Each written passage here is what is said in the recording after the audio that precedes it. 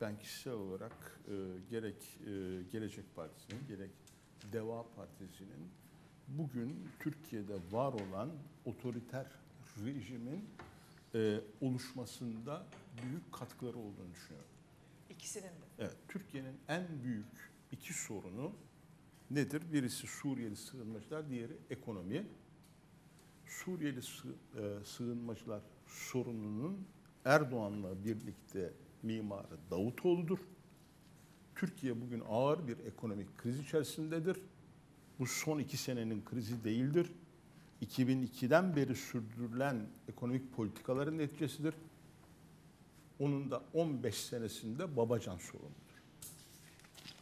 Şimdi bu iki siyasetçinin Türkiye'ye katacakları ne var? Doğrusu ben çok merak ediyorum. Partilerini demokratik e, bir şekilde kursunlar. Üzerlerinde İyi Parti'nin kuruluş sürecinde uygulanan baskılar oluşmasın. E, çalışmalarını rahatlıkla gerçekleştirebilsinler. Seçmene kendilerini anlatabilsinler. Bu da sorun yok. Ama e, biz kurulurken onlardan böyle bir iyi dilek duymadık. İyi Parti Türk milliyetçilere hayır diyor e, adlı referandumda e, parlamenter demokrasiyi savunan bir mücadele sürecinin içerisinden gelerek kurulmuştur. E, bugün parlamenter demokrasiye dönelim diyen bu iki partinin yönetici kadroları referandumda tavır almadılar veya evet dediler. İki sene sonra bu anayasanın ortaya nasıl bir Türkiye çıkaracağını görmeyen bu siyasi kadroların Türkiye'nin geleceğiyle ilgili ortaya ciddi bir şey koymalarının çok mümkün olmadığını düşünüyorum. Partinizde böyle mi Ee, e, ben kendi görüşlerimi söylediğimi Elbette kendi görüşlerinizi kendi görüşlerimi söylüyorum. Yani Partim siz adı- çünkü köprüleri bayağı bir atıyorsunuz. Ee, ben kendi görüşlerimi söylüyorum. Parti kurulları karar verirler ne olacağına. Bugün de böyle bir şey yok gündemde. Ee, evet yani iktidarı en sert şekilde eleştiriyoruz da herkes muhalif diye de Bağrımıza basamayız. bağrımıza basacak değiliz. Biz kendi doğruluğu olan bir siyasi partiyiz. Evet. Ama Ya- geriye kim ya, kalıyor? Bey? biz kendi bakın biz kendi biz kendi doğruları olan bir siyasi partiyiz. Elbette. Ve e, bu doğrulardan taviz vermek için 50 yılda içinde olduğumuz Milliyetçi Hareket Partisi'nden ayrılmadık. Davamızla birlikte ayrıldık. Ve e, Türk milliyetçisi ka- kadrolar bütün vatanseverleri ve bütün e, demokrat vatanseverleri kucaklayarak sağdan ve soldan e, birinci meclis ruhuyla İyi Parti'yi öyle kurduk. Şimdi siyasetin kendine göre bazı şartları oluşabilir. Siyaset mümkün olanın sanatıdır. Bunu biliyoruz. Ama ortada gördüğümüz bazı gerçekler de var. Yani e, e, Sayın Davutoğlu e, bundan kısa süre iki hafta önce yaptığı bir açıklama var. Parlamentoda Kürt de olsun, Laz da olsun, Çerkez de olsun, Uygur da olsun, Türk de olsun. Aa, et- evet, etnik onu- bir parlamento önerdi. Onu soracaktım. Ya e, Irak etnik parlamentonun kurulması için işgal edildi kardeşim. İşgal edildi. işgal bir ülke geldi Irak'ı işgal etti. Etnik parlamento öyle kuruldu Irak'ta. Şimdi siz Türkiye'ye İstiklal Harbi'nin sonuçlarını ortadan kaldıracak, Irak'ta işgal rejiminin doğurmuş olduğu etnik bir parlamentoyu gönüllü kurmasını öneriyorsunuz. Bunun makul bir izahı var mı? Bence yok.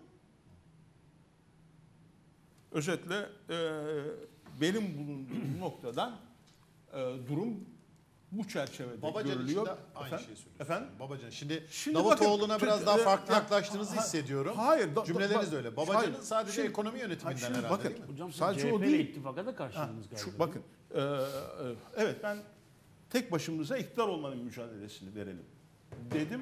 E, özellikle yerel seçimde karşı çıktım E, ve haklı olduğumu düşünüyorum ama Halen haklı olduğunuzu bu- bugün bu- bugün buradayız. Şimdi önümüzdeki sürece bakalım. Ve önümüzdeki süreçte de Babacan dediğim gibi bugün ekonomik krizin sorunlarından bir tanesidir ve Türkiye'nin önüne koyduğu paradigma yine neoliberal paradigma. Oysa neoliberal paradigma dünyada aşılıyor. Neoliberalizm tasfiye oluyor.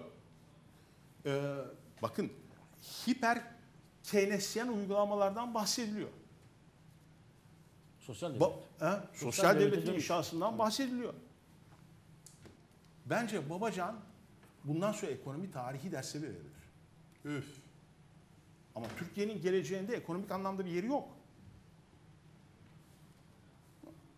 Ha, partileri belirli bir seçmen kitlesine ulaşabilirler mi? Ulaşabilirler. Ee, ulaşsınlar mı? Ulaşsınlar. Demokrasi bunu gerektiriyor. Ama İyi Parti varken e, Babacan ve Davutoğlu Türkiye'de umut olur mu? Doğrusu bu ancak iyi bir espri olur.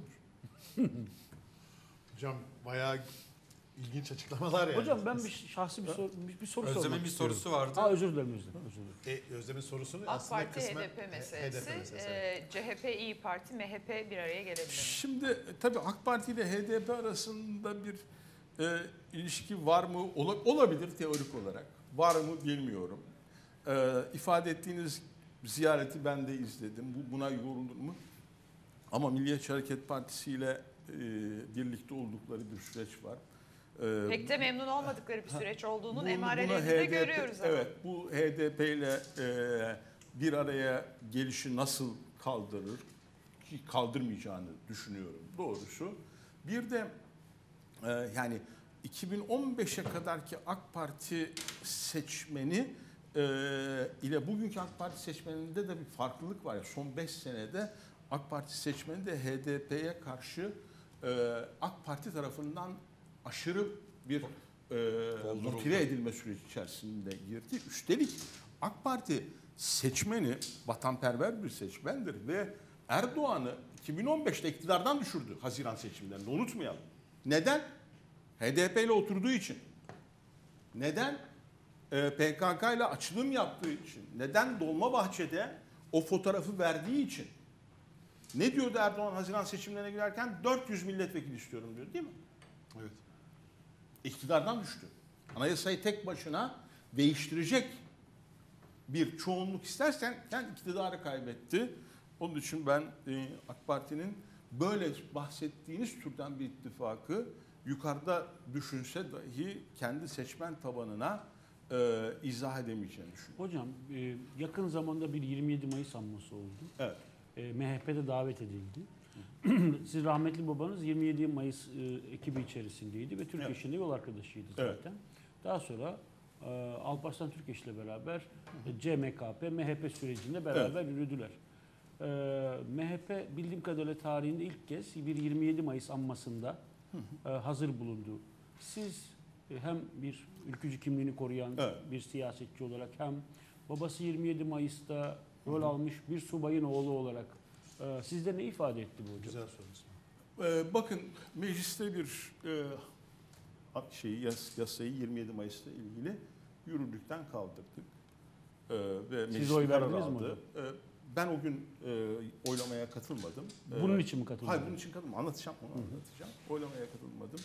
Ee, dışarıdaydım ama e, bundan bir sene önce e, rahmetli Polatkan'ın e, akrabalarıyla bir araya geldim. Bana bu dilekçeden bahsettiler. Meclise bir dilekçe vermişler.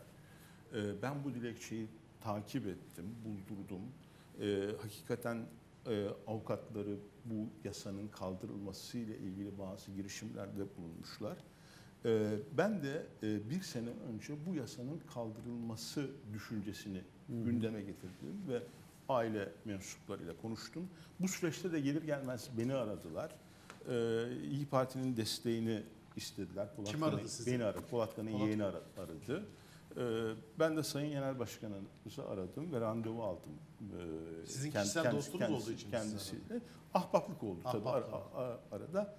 Bakın ben e, Türkiye'nin milli birliğinin sarsılmasından büyük endişe duyuyorum. Bunu sürekli ifade ediyorum. E, çünkü Erdoğan Türkiye'yi e, 2002'den bu yana gererek e, yönetiyor ve bu gerginlik bir düşmanlık seviyesine ulaştı. E, yabancı istihbarat servisleriyle bağlantılı e, düşünce kuruluşları var. Bunlar e, büyük kuruluşlar ve e, ülkelerle ilgili gelecek analizleri yaparlar. 2014-2015'ten bu yana e, bu kuruluşlar analizlerinde Türkiye'yi iç savaş kıyısındaki toplum olarak göstermeye başladılar. Dünyada milli birliği en fazla tehdit altında olan 10 ülkeden bir tanesiyiz.